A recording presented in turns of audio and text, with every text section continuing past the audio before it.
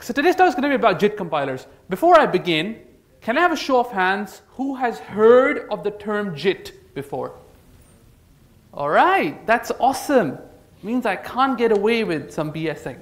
Okay, so today's talk, right, actually, in order to understand a JIT compiler, what you need to understand is how real compilers, how normal compilers work. So today's talk, sadly for you guys, is not going to be that much about JIT compilers. It's going to be more about how normal compilers work and what JIT brings to the table. We're not going to be talking too much about specific JIT compilers because it can get quite complicated.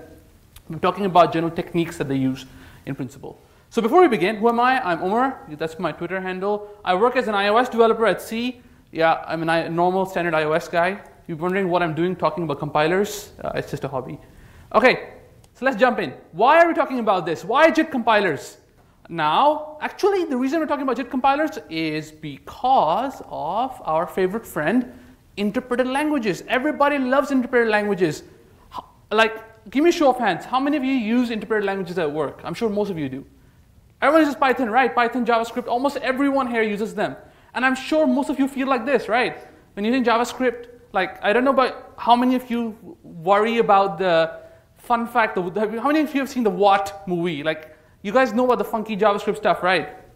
I don't need to uh, elaborate on it. But my point here is, interpreted languages are interesting because the, their performance characteristics are very different. The way they run is very different compared to compiled languages.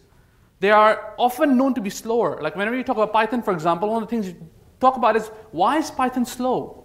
Why is it slow actually? If you think about it, why is Python slow compared to C? At the end of the day, it's just assembly code. At the end of the day, it's just machine code that's executing on some CPU hardware. So what makes Python slow? Let's think about this question.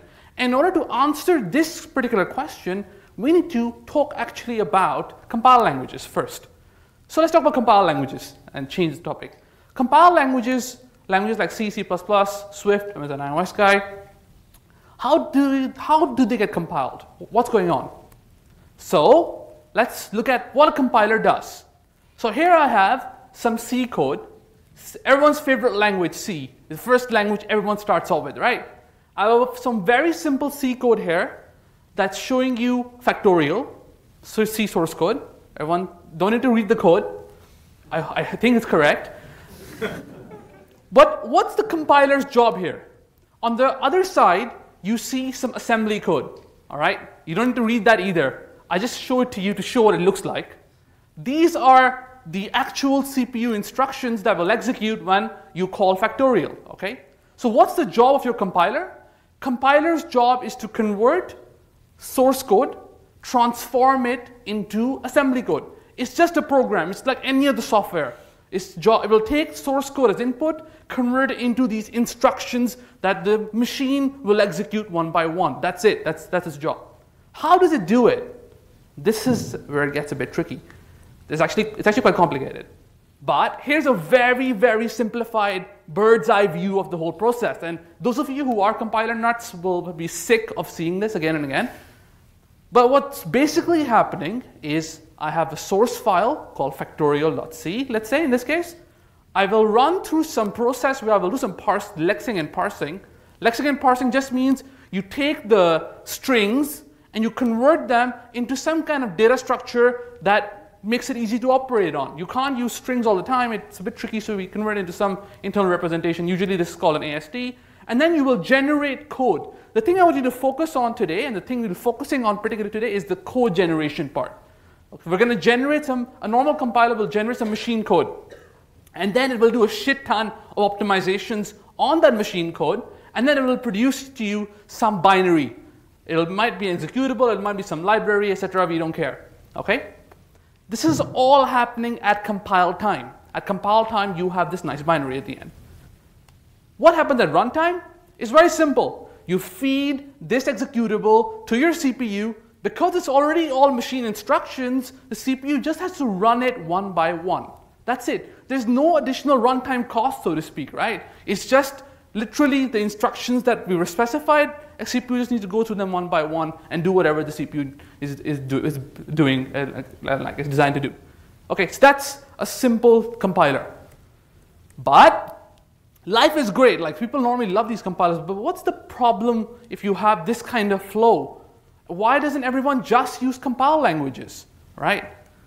Well, first of all, and this is truer back in the 80s and the early 90s, before LLVM became fashionable, compilers were hard to write. It's a fact. It's hard to write machine code. It's hard to optimize and generate machine code that's very, like, you know, nice and performant. Believe it or not, even in the 1990s, I was reading this article, game devs avoided the C compiler because it was more performant to hand tune your assembly because GCC was not good enough. Can you imagine such a time? This is not that long ago. Compilers are hard to write. Another pro problem, and this is especially true, like I don't know how many of you do iOS, like Swift, for example, is the big culprit. It takes bloody long to compile. I have a project, I've, I work on this app, we have this app called Shopee. Believe it or not, the build time takes around one hour to compile. See, I'm not joking. It's damn slow. And this is a problem because you, I, saw the, I showed you the flowchart earlier, right? The compiler is doing so much stuff. It's no, it's no, there's no choice. All those crazy optimizations, they cost time.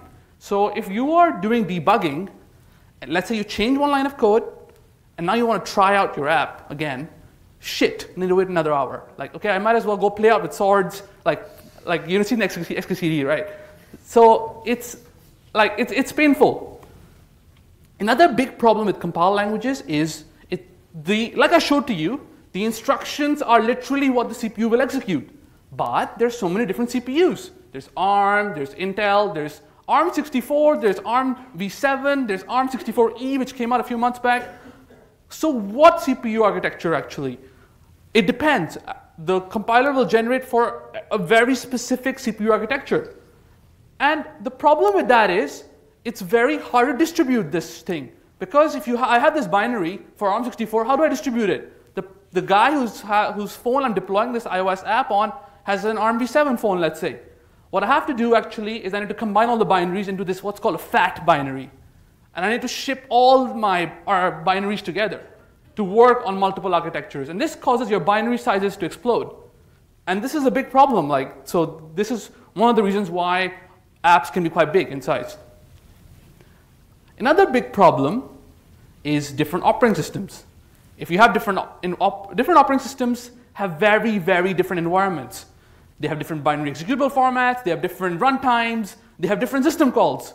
How do you pass people your binary? If I have made this sexy app and I want people using Windows, Linux, everyone to use my binary, how do I pass it to them? They can't run it because people, all these OSs will have different, have different requirements. If you use OS X or iOS, the binary format is called Mach-O. It's completely different from the exe format that Windows uses, which is completely different from ELF that Linux uses. So how do you port your stuff on different operating systems? It's quite hard, actually. And uh, like I mentioned, slower development cycle. So given all this, problems with compile languages, imagine, I want you to imagine, it's 1996, all right? Your name is Brendan Eich. You are tasked with creating a language in seven days for this thing called World Wide Web. It might hit off in a few years. You never know. Who knows, right? But you have to now build a compiler in seven days. What do you do? What, how, what choice do you have? You're not going to take the compiler route. You're going to ship a binary. You probably write this language called JavaScript and use this other, other technique called, oh, sorry, called interpreters. You write an interpreter instead. So let's look at interpreters now. How do interpreters work and how is that different from a compiler? An interpreter is very, very simple. Here I have factorial again, a Python code, and I run this Python factorial py and I get the answer immediately. This is how you use an interpreter. What's actually happening under the hood? Well, it's very similar to a compiler. It's a wannabe compiler, I like to call it, in the sense that in runtime, what's happening is, now keep in mind this is runtime, the interpreter will lex and parse your source code and it will immediately execute it. Okay?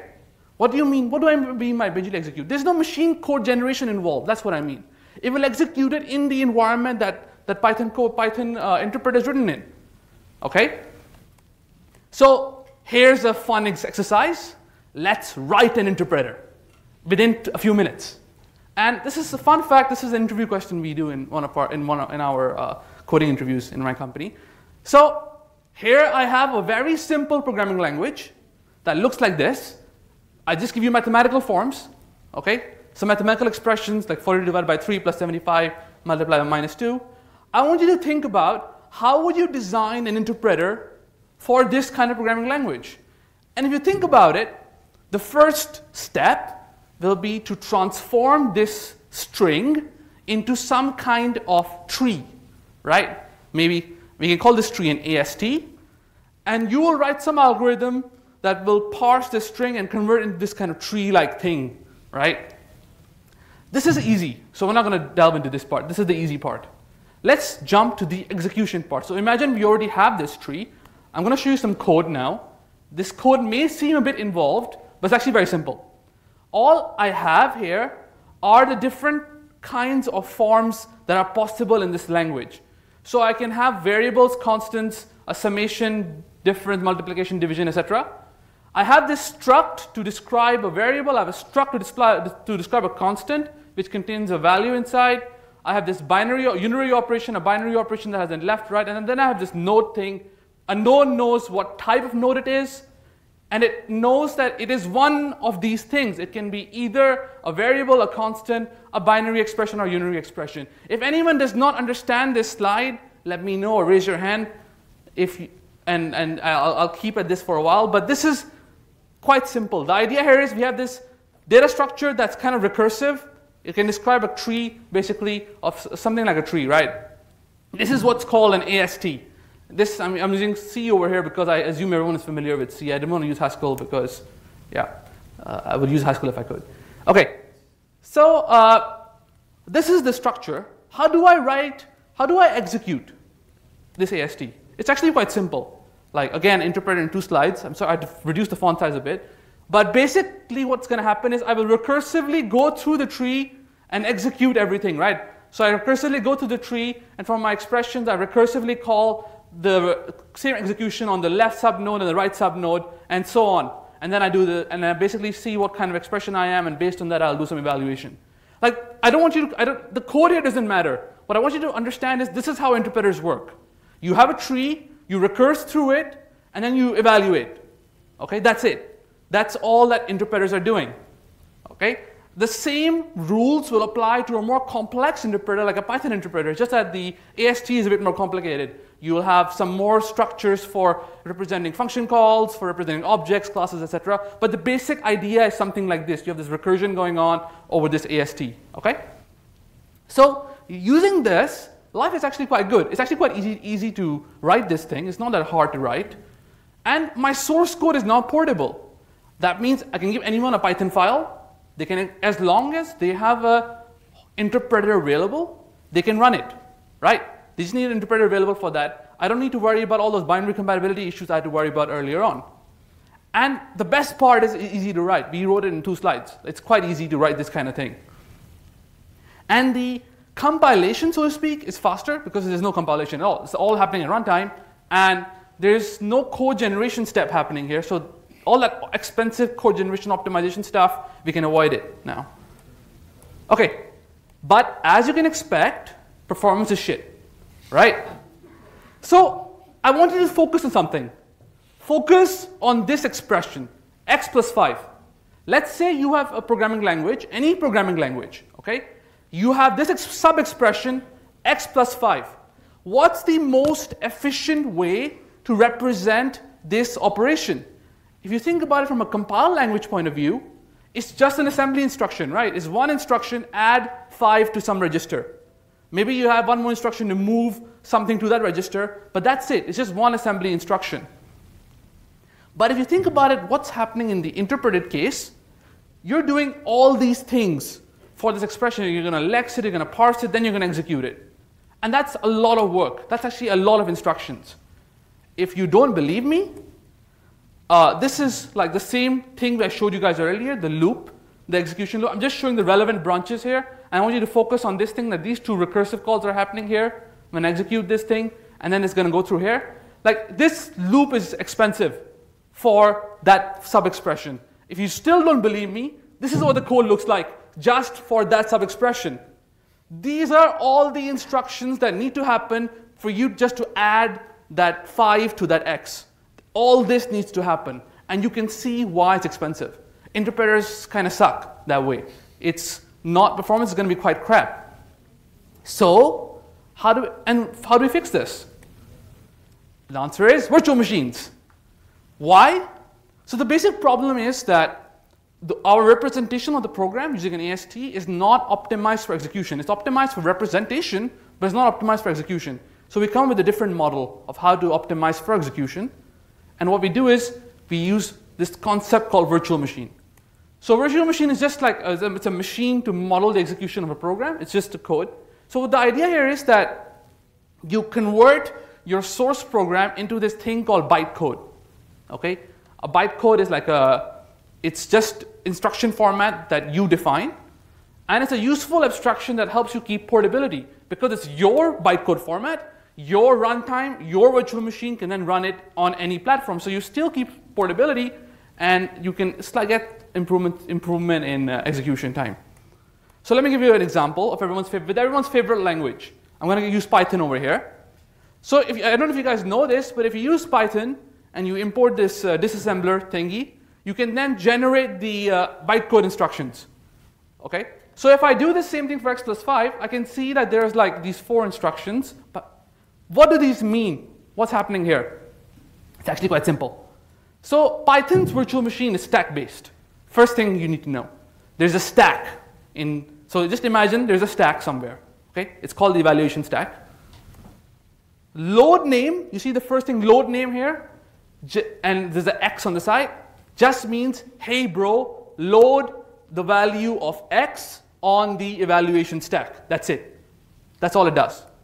Load constant means push 5 on the evaluation stack. Binary add means pop the two items from the stack and push the result of adding them. That's it. You can see there's a stack. All these operations are happening on the stack, and that's it. So that's all there is. And at the end of it, you'll get some result from the stack. That's how most VMs work. JVM works in a very similar way. There's lots of different bytecodes for doing other things, but that's the gist of it. Okay? There's this, there's this concept of a stack, and the stack is evaluating stuff. So you can imagine it's relatively more efficient. If I were to show you the diagram of what's happening now, previously we just were running thing directly. Now what's happening actually is we're doing some parsing. After the parsing, we will generate bytecode in this example, like I'm showing the PYC thing is bytecode. And at runtime instead, I will feed this PYC thing, this bytecode into a Python VM, and the VM will then execute on CPU. Okay? So what does the VM look like in code? Let's write a VM in two slides. I'm sorry to push you guys through this, put you guys through this. But a bytecode is, like a VM is even simpler than an AST. Like so a VM basically just means, so like we're gonna do, we're gonna do a very, very simple VM. We just have like three instruction, three bytecodes to load a variable, to load a constant, and to load and add, to do an add. Here I have the various, this struct will define what, like what, what's a, what structure of bytecode. It just, it knows what type it is and it has some arguments, okay? And when you execute a bytecode, it's very simple. You just create some stack over here, and based on the type, you iterate through the bytecode, and based on the type of bytecode, you do certain things. Like if it's a load variable, you push the value of that thing on the stack. If it's a load constant, you push the value of the constant on the stack. If it's an add, you pop from the stack and then you push the result of adding them. Very simple stuff. You can imagine the code that this thing will generate will be smaller and it will be faster, right?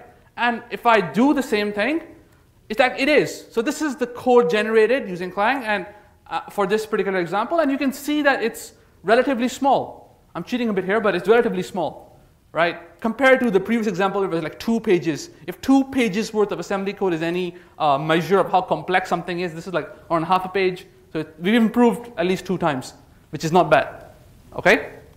This is sort of why run uh, VMs can be faster. There's no recursive calls happening here. That's the main thing. The thing is ON. Okay, so, so far so good. We have a VM, right? Uh, and we've improved our interpreters and we have portability. So we have better performance in the dumb interpreter. It's still portable F. And the problem still is that the performance is still nowhere near the compiled version. Okay? The big problem here is that compiled code can do a lot of optimizations that aren't just possible with just bytecode. They aren't possible. And why is that? And the one of the major reasons why is that is if you have like a hot loop, imagine that your x plus 5 thing just now, I showed you the half page thing was inside a loop. That thing is going to happen for every iteration of the loop. So it's still kind of expensive. And how can we improve this thing? The idea here is very simple then. So we show, we sh I showed you compiled languages, I showed you interpreters, bytecode interpreters. Why don't we combine them both, right? That's the classical way to solve problems. So finally, we're going to talk about JIT now, okay? So what is it? What is a JIT? JIT means just-in-time compilation. And the basic idea is actually quite simple. The idea here is we will identify the hot parts of your code. For example, if a function is inside a loop or a function is being used a ton of times, we will identify it. We'll say, okay, this guy is hot. He's super hot, right? Then we're going to transform that guy into, into machine code at runtime and then we're going to optimize the shit out of that, out of that machine code. And what we're going to do then is we're going to hot swap the implementation from the runtime one with the super optimized sexy one at runtime dyna- dynamically, okay? And profit. That's all. That's the gist of what JIT, JIT compilers do. So I'm going to look at it slightly more concrete.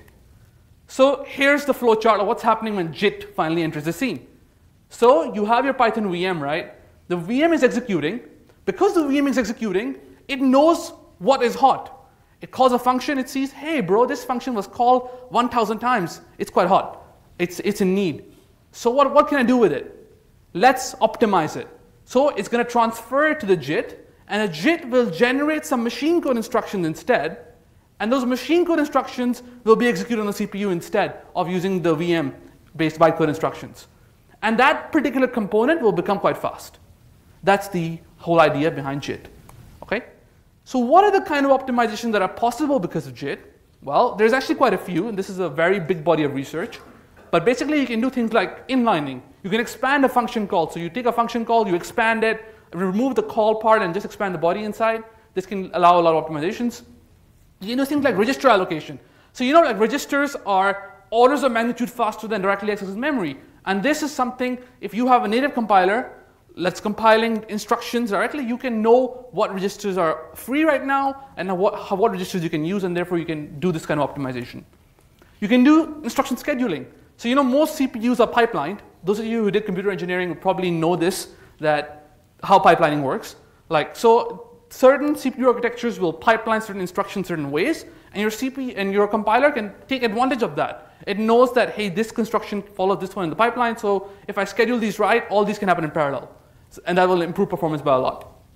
It can do this thing called constant folding, which means if you have two constants, it can propagate the ex expression that uses them and convert that into a constant and then pass this all the way up the tree. It can do this fancy thing called common subexpression elimination, which just means it basically finds redundant code and removes it. And it can eliminate dead code. So a lot, some of these optimizations can be done without JIT on bytecode as well, but a lot of these require you to have access to direct native instructions because some of these are hardware based. There are many, many more. There's like 20 years, 50 years of compiler research that's gone into building proper compilers. So the basic idea in JIT is that we can use that body of research and use it to improve our interpreted languages. Okay? So the basic problem or the basic trade-off thing that you need to think about when you're doing JIT is execution versus compilation speed. Because even though you're when you're compiling at runtime, you're, you're consuming some cost. You're taking time to compile this thing. So you need to decide when, it's a right, when is the right time to compile it. So it's a trade-off. So JIT compilation can be quite slow. The compilation itself is quite slow because, I mean, you're doing the same thing that native compilers are doing. You're doing all that code generation, you're doing all, the, all those optimization steps. It can be quite slow. So you don't want to do this all the time. So for interpreted languages especially, this is a problem. It can lead to a very large initial delay. So for example, you have a shell script, right? You don't want to wait for JIT to fire up and optimize the shit out of the shell script because by the time it's done, your shell script is done executing anyway, right? You don't want to do that. Or let's say you have a web page and you fire some one-off script that's doing some analysis work or that's going to do just one thing at load time when the DOM renders. You don't want that to be slow because then your customer is going to give you the middle finger for, for freezing his machine. Like you don't want to spend, waste your consumer's time. You want the initial render to be quite fast. So you don't want to do JIT all the time. It's not a magic bullet. So what's, how do we fix this idea, fix this problem? The idea is very simple. You only use JIT for hot code, like I mentioned previously. So you only, you try to find parts of the code that it makes sense to use JIT for, and then you only JIT those parts. That way you get quite a bit of flexibility and you still keep your fast initial runtimes. So as a case study, we can look at Web, WebKit, JavaScript core. Uh, who's familiar with WebKit? Anyone used WebKit before? Okay, actually all of you have. You guys are liars. All of you guys use, use WebKit. Because all of you have used Chrome once upon a time, and most of you probably have used Safari, they were all based on WebKit. Chrome these days forked off, but that's a different story. Okay, so JavaScript core is the JavaScript engine inside WebKit. It's used predominantly by Safari these days, so most people who use iOS will use this. Uh, and what the way it works is it provides multiple levels of JIT for different use cases. So they have this thing called a low-level interpreter, which is optimized for, the, for your fast startup use case.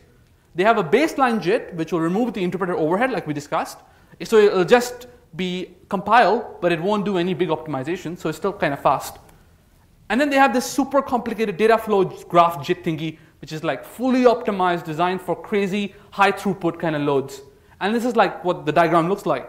So what's going to happen is functions get promoted from your low-level interpreter to your baseline JIT or to your DFG JIT and so, so on and so forth. Like to look at this in slightly more detail, what's going to happen is, let's say you have a function in JavaScript. Let's say you call that function six times, or some statement in that function is called 100 times. That function will be promoted. We know this guy is a, big, is a big bad boy. He needs to go to baseline JIT now. He needs he, he cannot survive in low-level interpreter mode. So he will, that function will be promoted. And if the function is called 66 times or 1,000 has 1,000 repeated statements inside, he's a better boy, so he'll go to DFG JIT. And uh, he'll, be, he'll be a real badass. The performance will be quite good. The a priori assumption made here is that the current frequency of function call is a good predictor of future frequency. So if a function is being called a lot right now, there's a good chance it'll be called a lot in the future. That's why it makes sense to do this trade-off and spend time compiling it to JIT. And the beautiful, beautiful black magic thing here is they can do this at any statement boundary. So what that means is midway through the function, no matter where you are in the function, they can promote it. No matter where you are, the whole runtime state will be consistent and it'll be fine. And they can promote, de-promote as well. So if they think that JIT is not worth it or some assumptions they made is not, is not, are, are, unqualified, they can de-promote it back. This is beautiful. They call this on-stack replacement. It's quite, it's quite sexy, I think. So some more things about JavaScript core. If you think about JavaScript as an untyped language, so you need type information to compile efficient code, right? I have this function foo does a, b, 42, a plus b is plus 42. What, is, what are a and b? Is JavaScript, could be a string, empty array, empty object. Fun to see what happens if that happens, if that you have that kind of code, right? But it cannot be. Who knows? No one knows. So how does the DFG JIT know what type it is? So here's the bright idea.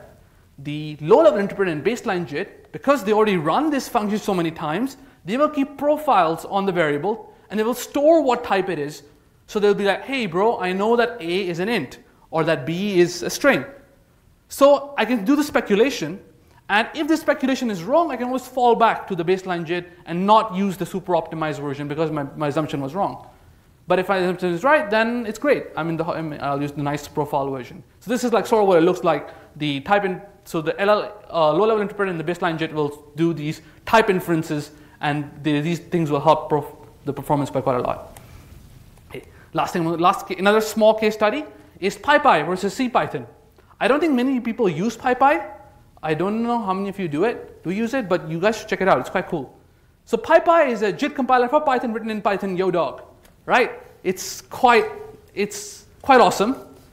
So CPython is the boring old version that everyone uses. It's the default implementation, and actually it's a bytecode interpreter. You guys know what a bytecode interpreter is by now. I showed you guys one earlier. It's just say interpreter generates bytecode, then you have a VM that will run that bytecode. Okay, it's actually quite straightforward. It's just it's pretty well optimized over the last few 10, 20 years, however long it's been out. PyPy is seven times faster than CPython though. And that's quite a bit. And that's quite, quite an achievement if you think about it, how long CPython's been out. And why is it so much faster? It's because it's a JIT.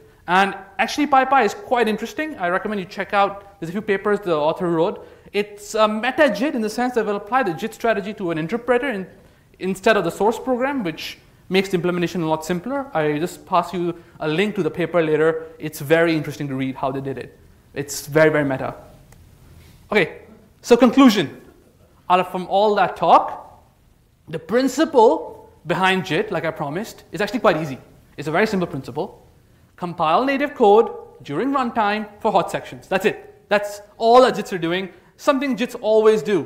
Use JVM will do this, PyPy will do this, all your JavaScript engines, V8, JavaScript Core, they all do this kind of approach. The main thing you have to balance is execution time versus startup time. So if you want startup time to be fast, you probably don't want to use JIT. If you want execution time to be fast and you don't mind sacrificing startup time, you can use JIT. This is a balance that all these uh, compilers have to draw. The big problem is real world JITs are very, very complex. So like, like, JavaScript core is one beast. And if you look at any JIT compiler, it's, it's very, very complex in the real world because there's a lot of things that they need to, to handle. So if you guys are interested, here's a few links. I'll put my slides up somewhere later on. So there's a few links by WebKit on how they implemented the JIT.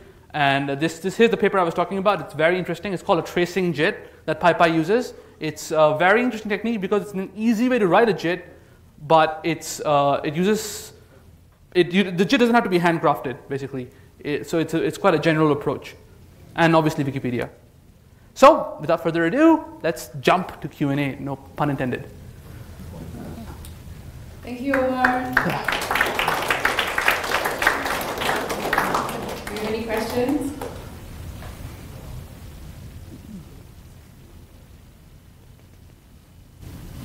Yeah, Melvin.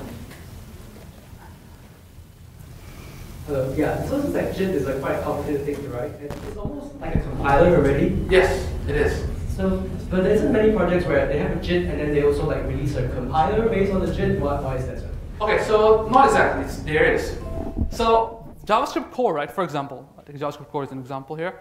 So one of the so JavaScript core, one of the techniques they use to optimize your machine code in the different like so they have these three baseline levels, right? There's actually a fourth based fourth level of JIT they use it's called, it's based, on, based off LLVM. So what they'll use is, they'll use, if you know how LLVM works, LLVM has a front end and a back end. The back end will convert LLVM IR into machine code. So they use this, they use that thing. So they'll use LLVM, LLVM's back end and they'll connect that to their JIT. So basically, if you reach a certain level of performance, they'll use LLVM's backend and use the same optimization that LLVM has done, and they'll use that to generate machine code. So the, the idea here is to reuse some of the advanced functionality that LLVM has already done. So a lot of the techniques that they use are already built by compilers. So there is quite a bit of duplication. At like, so a lot of JIT compilers will duplicate a lot of things that real compilers do. Some of them will try to use some common infrastructure like LLVM. These days, no one writes a real compiler anymore, Sai. Like, because everyone uses, everyone just uses LLVM because LLVM will do that thing for you. So uh, there are efforts to combine them, like I said, but most JITs will be, like many JITs will be handwritten, but they'll try to use the same kind of optimization that native compilers do use. I think my question was, why doesn't JavaScript core release a JavaScript compiler? Oh, I see. So it's a good question. So you mean like this pure native, right? Purely native compile. Yeah, like you give it a JavaScript code, it gives you back a binary. Okay, that's a good. Actually, that's a good question. Why it doesn't do that? That's a good question. Yeah, that's, that's something to that's something to wonder about actually. It's something to wonder about. It's a, it's a good question. Yeah, uh, you'd have to ask Web, WebKit why they don't do that. I suspect it's a use case thing. Yeah, I, maybe there. In which example would you have a case where you execute something that's compiled in JavaScript, like a JavaScript binary? Yeah, maybe. You could, I guess Node.js guys could profit from that. Yeah, it's a good question. Yeah. Well, I actually, uh, thank you, thank you for talking about the JIT. Okay, thanks. Uh, my background is actually in uh, electronics. So I'm not really a computer scientist. So what I'm trying to understand is, uh, is there any like uh, uh, physical applications that you can you can uh, see? Because uh, by the time it reaches my hands, right, I'm, I'm like I'm usually the hands-on guy. Uh, I, I do the implementation and all. So I, I don't know how I can apply this. Uh, is, is there is there any application you can think of that can be applied in the real world? Ah, ah, so, so the lessons from this talk can be Yeah. applied to the real world. One, well, if you're writing a JIT compiler, that's quite useful. Yes. but if you're not writing a compiler anytime soon, I guess the main thing this helps with is helps you understand why your performance might be slow. So, like if you're writing Python code, for example, if you write Python code as, and if you're wondering why is your Python code not performing the way it is, you could tune your code to optimize, make full use of the JIT. If you know that oh, there's a JIT compiler inside, and that thing can optimize if needed, if you give it the right kind of hints, or if you like provided the right information. So it depends on your use case, but general idea is it's good to know how your tools work in order to make full benefit of your tools. So because uh, in engineering applications, right, we still use uh, C. Okay. Because we use like a microcontroller. Oh, yeah, fair enough. Okay, fair enough. If you, if you use C, you don't need to worry about this. This talk is not exactly for you because you're, in, you're good. You're using compiled languages, so welcome to my world. Like, you're, you're, you're, good, you're good to go. Yeah. So a question over there. Harish? Yeah. Very quick question. In one sentence, what is it that you are able to say about why PyPy is seven times better than Scikit Python? It can apply all the optimizations from compiler research on generating machine code because it's a JIT. That C Python cannot because it operates in bytecode. Oh, okay. Does that make sense? Yeah. Okay. Any more questions? Okay, all right. Uh, just a reminder that Microsoft is having. Oh, sorry, thank you, Omer, Uh, first. Thank you thank so you. much.